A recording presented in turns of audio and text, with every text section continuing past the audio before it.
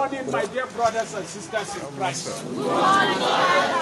As I told you last week, today, if you do not have your PVC with you, you will not attend Mass here today. It's as serious as that. When I said it, some of you, you took it for granted as if we are joking.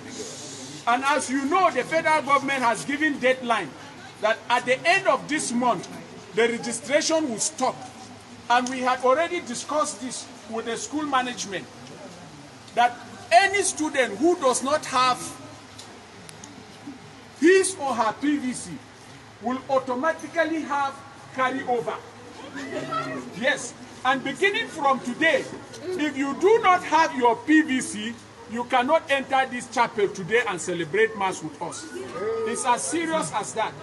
And, and for those of you coming from Jos Archdiocese, you must have known that it is said in Jos that is that if you do not have your PVC, you cannot receive communion.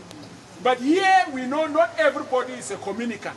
So what we'll do is, from today, if you don't, if you are coming for mass, carry your PVC. If you don't have your PVC, don't bother coming.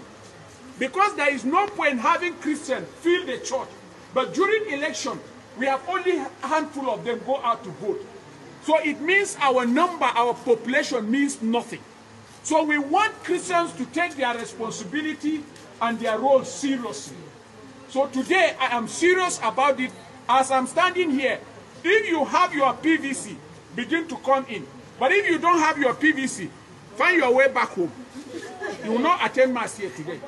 Is that clear? Yes. Those with your PVC, oh yeah, begin to come in. Oh yeah. Those who don't have their PVC, begin to go back. I'm serious about it. Uh-huh.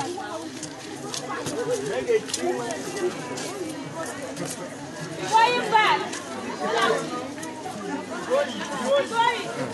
Those who don't PVC, oh yeah, go back home. If your number cannot add anything to Christianity, neither will your absence reduce anything.